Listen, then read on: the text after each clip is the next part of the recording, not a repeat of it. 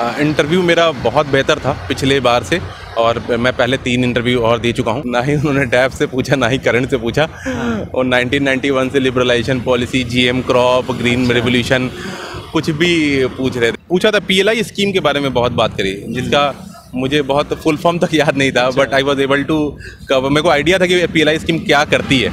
मुझे तो हर स्टूडेंट के लाइफ में हर्डल्स रहता है। आ, कुछ लकी रहते हैं जल्दी निकल जाते हैं बट कुछ मेरी तरह है जो पाँच अटैम्प्ट लगाते हैं निकलने में। तो मेरा फिफ्थ अटैम्प्ट में आईपीएस हुआ। बीच में मैं डिप्रेशन में भी रहा एक डेढ़ साल तक। बट आई वुड से कि हर किसी के लाइफ में आता है। आप ये नहीं बोले कि आप ही जो है बस दुख आ रहे हैं और आप ही की ज़िंदगी में दुख है। हर के ज़िंदगी में और फिर कम बैक करें फाइट करें। And see I am here तो even you can do it मेरे को इतने मैसेज आते हैं इंस्टाग्राम पे, सर, मैं बहुत डिप्रेशन में हो जा रहा हूँ, मैं दुखी हूँ। मैंने उसको हर किसी को यही मैसेज करता हूँ भाई मैं भी गया था। It is only you have to fight and come back out of it है ना? बस अच्छे अच्छे मेंटरशिप के साथ मेरे मेंटर्स के साथ में रहे जैसे मैं रियासत सर से कभी भी फ़ोन करूँ कभी परेशानी होती थी तो मैं रियासत सर से बात कर लेता लेता था उनका आई मेंटरशिप चलता है करोल बाग ओल्ड नगर में है ना? आपको एक पॉइंट बाद सेचुरेशन हो जाता है आपको पता नहीं चलता मैं क्या गलती कर रहा हूँ क्या सही कर रहा हूँ। आप वही आंसर लिख रहे होते हो वही नंबर आ रहे होते फिर वही आंसर लिख रहे हो फिर वही नंबर आते हैं। आपको पता ही नहीं चलता चेंज कहाँ पर करना है। तो वहाँ पर वो चीज़ हेल्प करती है जैसे मेरे को सर ने वहाँ पर हेल्प करा कि ये चीज़ थोड़ा सा चेंज कर दोगे तो थोड़ा सा इसमें हेल्प हो जाएगी। तो हम्म, वहाँ पे एग्जैक्टली फीडबैक मिलता है। जो एक्सपीरियंस बंदा है एक्सपीरियंस टीचर है ऑब्वियसली उससे बेहतर तो मैं तो नहीं बता दोस्तों आज कई दिनों के बाद मैं आया हूँ यूपीएससी भवन। आप सभी जानते हैं यूपीएससी की इंटरव्यू चल रही है इस, साल 2022 की। और कई ऐसे कैंडिडेट हैं जो अपनी किस्मत आजमा रहे हैं इस बार। आज आने का खास मतलब ये भी है कि हमारे साथ आज स्पेशल गेस्ट है मोहबिल्ला सर। आप में से कई स्टूडेंट इनको जानते हैं। सर ऑलरेडी आईपीएस हैं। देन अगेन इनकी ये लास्ट अटैम्प्ट है। और ऑब्वियसली दोस्तों अगर आपके पास अटैम्प्ट है अपॉर्चुनिटी है तो उसको अवेल करना चाहिए। और उसी रणनीति के साथ सर इस बार इंटरव्यू दे रहे हैं। सर सर सबसे पहला क्वेश्चन कैसा गया इंटरव्यू आपका? इंटरव्यू मेरा बहुत बेहतर था पिछले बार से और मैं पहले तीन इंटरव्यू और दे चुका हूँ। तो इंटरव्यू बेहतर था क्योंकि मैं अपने इस बार मैं दिल्ली जब आया तो अपने मेंटर से भी मिला और उन्होंने थोड़ा थोड़ा मुझे हिंट भी करा कि कहाँ मैं चीज़ों को सही कर सकता हूँ, है ना, इस मेंटरशिप में मैं गया। तो और भी लोगों से मिला, अपने फ्रेंड से मॉक देता था। फाइनली मुझे लगा कि एंड में सबसे अच्छी बात थी कि मैंने एंड में काम कंपोज होना ज़्यादा इंपॉर्टेंट है सर ये मॉक जो चलता है इससे क्या फ़ायदा मतलब मॉक देना चाहिए मॉक से क्या बेनिफिट मिलते हैं एस्पिरेंट मॉक बिल्कुल देना चाहिए लेकिन excess of anything is poison तो एक्सेस अगर आप कर देंगे तो आप ही पछताएँगे। तो एक्सेस नहीं करना है। चार पाँच छः mock is sufficient to know how what are your mistakes and how can you learn from it तो चार पाँच छः सर क्वेश्चन किस तरह से पूछे गए थे इंटरव्यू में? अगर हम डैफ की बात करें करंट अफेयर्स की बात करें ऑप्शनल से बात करें। ना ही उन्होंने डैफ से पूछा ना ही करंट से पूछा। हाँ। और 1991 से liberalisation policy GM crop green revolution कुछ भी पूछ रहे थे। तो वो तो वो तो आइडिया है ही कि इतने इंटरव्यू देने के बाद कि कुछ भी पूछ सकते हैं वो बी रेडी फॉर एवरीथिंग वही आपको पैनिक नहीं करना है किसी भी सिचुएशन में बात ये है। हाँ।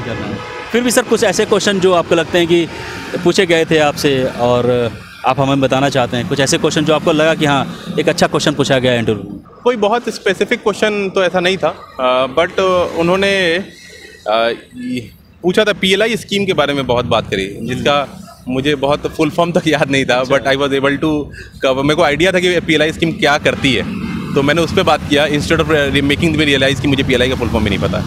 ये जो जर्नी है काफ़ी लंबी जर्नी रही है इसमें काफ़ी स्ट्रगल भी रहे हैं आपके साथ। तो इस जर्नी के बारे में जो नए स्टूडेंट वो जानना चाहते हैं पूछना चाहते आप पूरी जर्नी बताइए कैसे शुरुआत हुई क्या क्या हर्डल्स आए और क्या स्ट्रगल रहा है?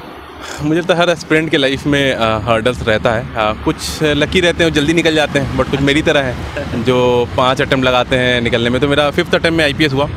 उससे पहले मैंने स्टार्ट किया मैं कॉलेज करने के बाद मैंने ग्रेजुएशन करी वही केमिकल इंजीनियरिंग में आई दिल्ली से ग्रेजुएशन करा। फिर जब मैंने प्रिपरेशन करना शुरू किया, इससे पहले मैं बिहार पब्लिक सर्विस कमीशन में भी मैं सिलेक्ट हुआ था। उसके बाद मैंने आईपीएस में सिलेक्शन हुआ मेरा। बीच में मैं डिप्रेशन में भी रहा एक डेढ़ साल तक। बट आई वुड से कि हर किसी के लाइफ में आता है, आप ये नहीं बोले कि आप ही जो है बस दुख आ रहे हैं और आप ही की ज़िंदगी में दुख है। हर के ज़िंदगी में और फिर कम बैक करें फाइट करें। And see I am here तो even you can do it है ना? तो डाउन्स आएँगे but you have to fight for it correct बहुत सारे ऐसे स्टूडेंट होते हैं, वो धारासा हो जाते मतलब जहाँ पे डिमोटिवेशन आई, वो छोड़ देते हैं या फिर हार मान लेते हैं। लेकिन सर ऐसे थे जो लास्ट वक्त तक गए और जो मंजिल जिद थी इनमें कि हमें सिविल सर्विसेज़ कर, करना है और इन्होंने करे कि आप सर से बहुत कुछ सीखेंगे कि क्या स्ट्रेटेजी होनी चाहिए? बेस्ट स्ट्रेटेजी कहाँ पे आप फंसते हैं प्रिपरेशन दौरान? ये सारी सर स्ट्रेटेजी की बात की प्रिपरेशन कैसे शुरुआत करनी चाहिए नए बच्चों को? किन किन बातों को ध्यान रखकर क्योंकि sir you are the expert आपको हर एक चीज़ बारीकी चीज़ बारीक से बारीक चीज़ पता है यू पी के बारे में इसके बारे में बताइए। जैसे कि जैसे आपने कहा कि बहुत लोग डिप्रेस हो जाते हैं मैं बस यही कहूँगा कि डिप्रेशन आएगा ये बात आपको पता होनी चाहिए है ना? तो जब आपको पता होता है कि कोई दुख आने वाला तो आप एटलीस्ट तैयार तो रहते हैं उस पर फाइट करने के है ना? तो प्रॉब्लम आएगी। मेरे को इतने मैसेज आते हैं इंस्टाग्राम पे सर मैं बहुत डिप्रेशन में हो जा रहा हूँ मैं दुखी हूँ। मैंने उसको हर किसी को यही मैसेज करता हूँ कि भाई मैं भी गया था। It is only you who have to fight and come back out of it है ना? बस अच्छे अच्छे मेंटरशिप के साथ मेरे मेंटर के साथ में रहे। जैसे मैं रियासत सर से कभी भी फ़ोन करूँ कभी परेशानी होती थी तो मैं रियासत सर से बात कर लेता लेता था। उनका आई मेंटरशिप चलता है करोल बाग ओल्ड राजेंद्र नगर में है ना? तो आपको अपना एक मेंटर ढूंढना पड़ेगा जो आपको समय समय पर हेल्प करे।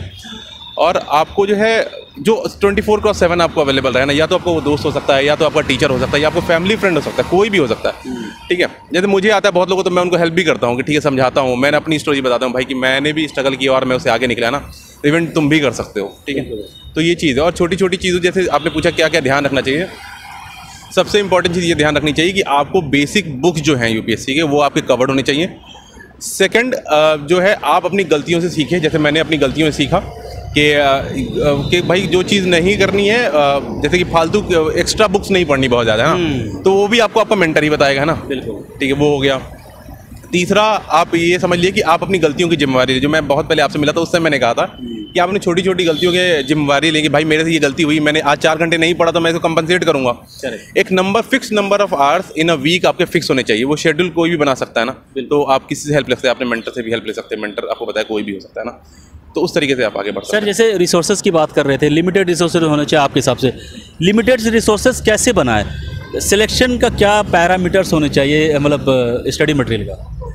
मैं वही चीज़ कह रहा हूँ कि वो भी आपको एज अ मेंटर ही हेल्प कर सकता है। किसी ना किसी से आपको बात करनी पड़ेगी या तो बहुत लोग यूट्यूब से कर लेते हैं बहुत अच्छी बात है। अ, बहुत लोग कोई मेंटर ढूंढ लेते हैं जिनसे हेल्प मिल जाती है। अ, मुझे रियासत सर ने थोड़ी सी हेल्प कर दी थी कि कौन कौन से बुक्स पढ़ना है कैसे गाइडेंस वो भी है है ना? अब मैंने कोचिंग भी करी ठीक है? तो नोट्स वोट्स बनाना कैसे नोट्स बनाना है ये भी आपको हेल्प मिल जाता है आपके मेंटर से है ना? और हर को- हर कोई अपना अपना मटेरियल दे जैसे मैं एक चीज़ फिक्स रखता था कि भाई बेसिक हर सब्जेक्ट के लिए एक बेसिक बुक होगी और करंट अफेयर्स के लिए एक बेसिक का मटेरियल होगा है ना? तो मेरा फिक्स था। ये मैंने डिस्कशन करके अपने मेंटर से ही बनाया था इसको है ना? तो ये चीज़ आप कर सकते हो। सर जैसा कि आप मेंटरशिप के बारे में बता रहे थे सही एक गाइडेंस होनी बहुत ज़रूरत है। तो जैसे आप रियासत सर की बात बात कर रहे थे आई एस मेंटरशिप चलाते हैं इनसे किन किस तरह की बेनिफिट आपको मिली और क्या इनका बेस्ट आपको लगा जो आपको लगता है कि कहीं ना कहीं बच्चों की हेल्प मिलती है इनको इनसे? सबसे पहली बात की एक्सपीरियंस उनका खुद का। दूसरा twenty four cross seven availability because इस प्रिपरेशन में चाहिए होता चाहिए है। आपको तीसरा कि एक समय के बाद जो लास्ट पॉइंट है कि आपको एक पॉइंट के बाद सेचुरेशन हो जाता है आपको पता नहीं चलता मैं क्या गलती कर रहा हूँ क्या सही कर रहा हूँ। आप वही आंसर लिख रहे होते हो वही नंबर आ रहे होते हो फिर वही आंसर लिख रहे हो फिर वही नंबर आते हैं। आपको पता ही नहीं चलता चेंज कहाँ पे करना है। तो वहाँ पे वो चीज़ हेल्प करती है। जैसे मेरे को सर ने वहाँ पे हेल्प करा कि ये चीज़ थोड़ा सा चेंज कर दोगे तो थोड़ा सा इसमें हेल्प हो जाएगी। तो वहाँ पे। एग्जैक्टली फीडबैक मिलता है। जो एक्सपीरियंस बंदा है एक्सपीरियंस टीचर है ऑब्वियसली उससे बेहतर तो मैं तो नहीं बता पाऊँगा ना। आपकी सर ऑप्शनल पेपर क्या है? मेरा option sociology as a sociology अगर कोई स्टूडेंट लेना चाहता है ऑप्शनल सोशोलॉजी तो उसको किन किन बातों का ध्यान रखें और इसके लिए किस तरह तैयारी करें? अ, मुझे लगता है कि वो आप अपने most important point option choose करने के लिए होता है आपका इंटरेस्ट फैक्टर अगर जिसमें आपको इंटरेस्ट हो आप आँख बंद करके लीजिए। दूसरों की बातों में मत आइए कि इसमें नंबर ज़्यादा मिलता है इसमें ये कंटेंट ज़्यादा है ना वो सब मुझे लगता है ज़्यादा इंपॉर्टेंट है। सबसे इंपॉर्टेंट कि आपको इंटरेस्ट आया। Now others are secondary factor primary factor should भी इंटरेस्ट आना चाहिए क्योंकि हो सकता है आपको तीन साल चार साल पाँच साल वही सब्जेक्ट पढ़ना पड़े। मैंने पाँच अटेम्प्ट लिया था। तो मेरे को पाँच छः साल वो पढ़ना पड़ गया। क्या आप जिस सब्जेक्ट में इंटरेस्ट नहीं है और किसी ने कह दिया कि नंबर आता है आप वो ले लेंगे क्या पाँच हाँ, छः साल आप पढ़ आता है, फिर वो- तो पाँच छः साल आप पढ़ पाएँगे नहीं पढ़ पाएँगे राइट सर आप आंसर राइटिंग कैसे देखते हैं? ऐसे को कैसे देखते हैं? क्योंकि बहुत सारे बच्चे बच्चों को इसमें बहुत दिक्कत होती है। इसके लिए बताइए। See G S one two three four ऐसे है ना। मतलब सब अलग अलग टॉपिक हैं सब अलग अलग कवर्ड करनी चाहिए। सोशोलॉजी का जैसे मैंने जो है मैंने तो मार्केट में कोई ऐसी कोचिंग नहीं जो मैंने सोशोलॉजी के लिए नहीं मटेरियल जिसका नहीं पढ़ा। मैं सब पढ़ के अपना लेकिन एक नोट्स बनाया मैंने सोशोलॉजी के लिए। G S one two three four के लिए क्या प्रॉब्लम आती है कि आपको एक पॉइंट बार पता नहीं रहता कहाँ कमी आ रही है ना? तो वो मैंने बहुत सारे मेंस टेस्ट सीरीज़ दिए। मैंने वही मैं आई एस मेंटरशिप भी गया वहाँ पे जैसे one two three four sir cover करते हैं। तो वहाँ पे ऐसे का भी उन्होंने हेल्प करा। तो मेरे ऐसे में लास्ट ईयर मेरे बहुत कम नंबर थे 98 अच्छा। मार्क्स से तो मैं होप कर रहा हूँ कि इस बार नंबर थोड़े इंप्रूव हुए होंगे। तो लेट्स सी सर की गाइडेंस का भी कुछ इम्पैक्ट है जिसकी वजह से मैं दोबारा फिर से इंटरव्यू दे रहा हूँ। देखते हैं क्या होता है आगे। सर आंसर राइटिंग लिखने वक्त किन किन बातों का ध्यान रखें? जैसे बोलते हैं ना कि बुलेट पॉइंट्स मैंने पैराग्राफ में लिखना चाहिए ग्राफिक्स यूज़ करना चाहिए डेटा यूज़ करना चाहिए तो इसके बारे में क्या कहना सी ऐसा कुछ नहीं है कि मैं एक मूल मंत्र बता दूँ ग्राफिक्स यूज़ करेंगे तो नंबर आएगा पॉइंट में लिखेंगे तो नंबर आएगा ऐसा कुछ भी नहीं है। हर बंदा हर कुछ करके क्वालिफाई कर द मोस्ट इंपॉर्टेंट थिंग जो एक होना चाहिए जो मुझे लगता है जो मिसिंग रहता है कि हर पार्ट ऑफ़ आंसर एड्रेस नहीं होता। आप क्या होता है कि क्वेश्चन में चार पार्ट है, आपने तीन ही पार्ट देखा और आपने तीन ही पार्ट लिखा, है ना? तो वो एक प्रॉब्लम हो जाता। तो वहाँ पे जब एक पार्ट मिस हो गया दो चार नंबर ऐसे ही चले गए। तो अब जैसे कि सर ने क्या करा था, मुझे जैसे कि कैसे एक पार्ट को ब्रेक करना है ना कैंसर का, वो बेसिकली सिखा दिया था तो उससे मुझे बहुत हेल्प मिल गई थी। बहुत बढ़िया। सर, कैसा लग रहा है ओवरऑल आज की जो इंटरव्यू की परफॉर्मेंस है उसको कैसे देख रहे हैं आप? मैं तो खुश हूँ। मैं जा रहा हूँ मेरा लास्ट था। मैं किसी आ, मन में ग्रज रख के नहीं जा रहा हूँ कि मैं और अच्छा कर सकता था। This is the best I could have done I am really happy with it sir thank you very much and I hope कि इस बार और भी अच्छा हो आपके लिए। And all the best sir thank you thank you